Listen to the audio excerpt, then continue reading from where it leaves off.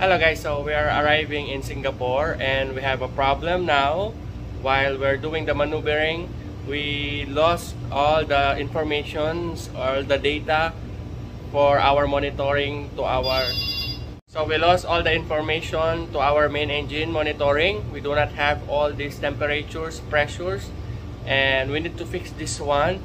And we need to find out what is the main cause why all these cards are down now so come and join me in this new learning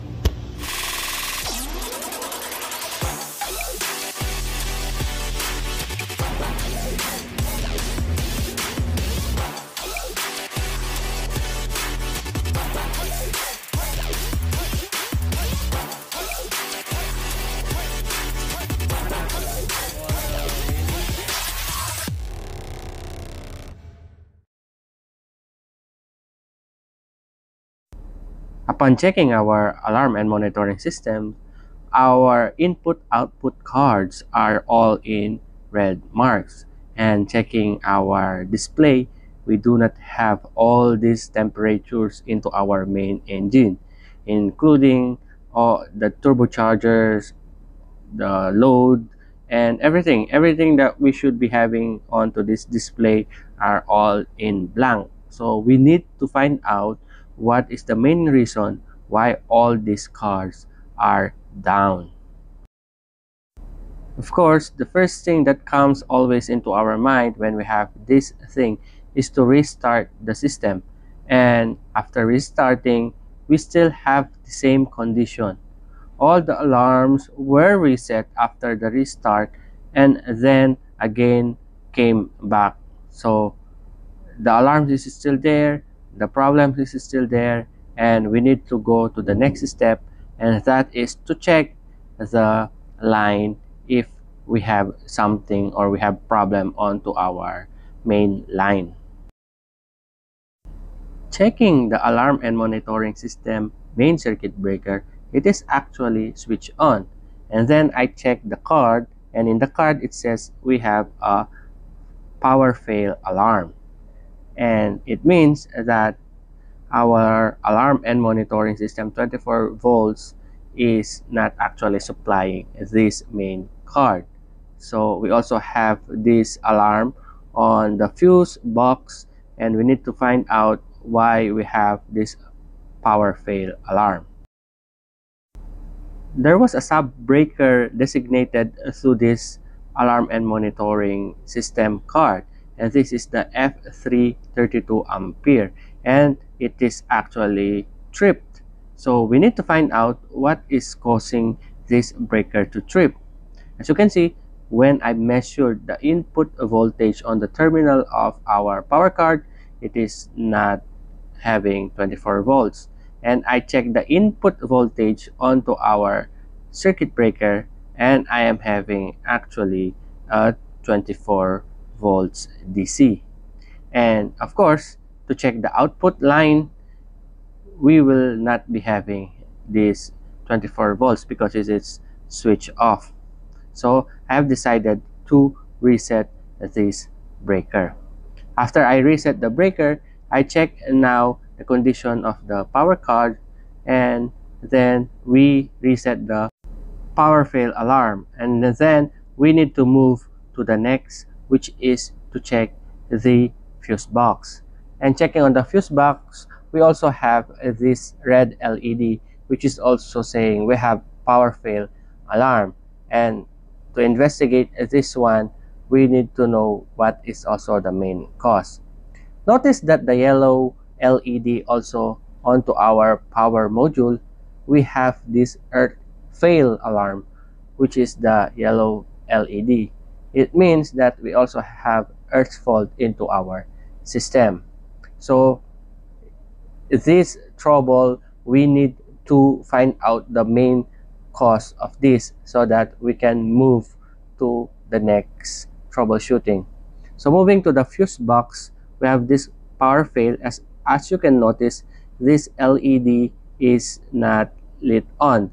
So it says we have a maximum of 7.5 amperes fuse for that one and to investigate all of these UTL 6 to 15 power module or these IO modules are all connected to this. So I was thinking that the 2 ampere fuse which is actually installed to this uh, fuse box is not enough.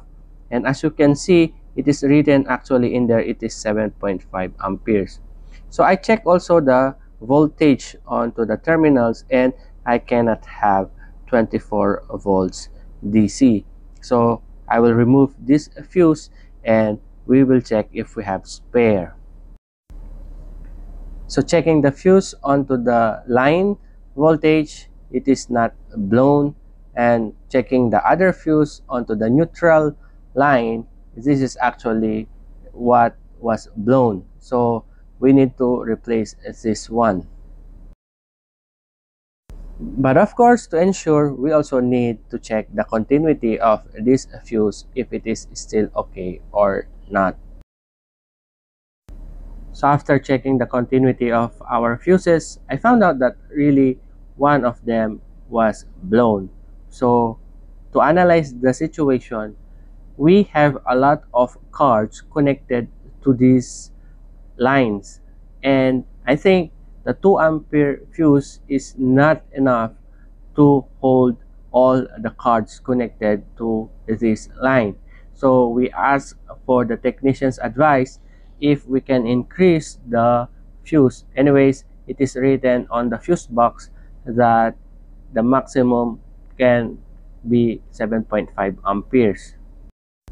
So after changing the fuse to 5 amperes, we were able to restore the power on to this line and checking the alarm and monitoring system everything went normal except for the yellow cards which turns to have an earth fault. So now everything is normal except for the earth fault I have already made a separate blog in finding an earth fault in this kind of input output card so I will just put the, the link on the description down below for your reference. So in finding the earth fault in our situation, be to our fuel oil high pressure leak pipe. After opening the sensor, I found out a little bit of moisture into the cables. So I just wipe it out and clean the terminals and then I put back. After that, everything went normal. This type of sensor is actually testing the conductivity onto our pipe.